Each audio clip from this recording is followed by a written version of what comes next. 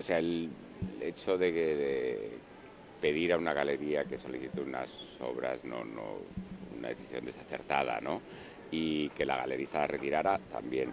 Pero mmm, creo que esto nos tiene que servir para aprender, para aprender que en Arco todas las galerías, todos los artistas tienen la libertad de expresión, la libertad de, presentar la obra que quieran, siempre dentro de la calidad que, exige la selección del comité organizador y que tiene que ser una enseñanza eh, más que un otro tipo de bueno, yo creo que en el mundo del arte, que es en el que yo trabajo, tiene que haber una libertad de expresión absoluta, ¿no? Tanto en la obra de un, de un músico o de un artista o en una exposición, y en ese sentido tiene que haber libertad de expresión. Si se está rozando lo delictivo, no tienen que ser las instituciones, sino tiene que ser la judicialidad quien lo que lo aplique. Pero vamos, en el caso del mundo del arte, eh, la libertad de expresión tiene que ser total y absoluta, claro. Claro, quizás están aplicando de una manera más extensiva. En mi opinión, yo creo que toda esta judicialización del, de los contenidos artísticos lo único que hace es dar más visibilidad y dar más publicidad a esos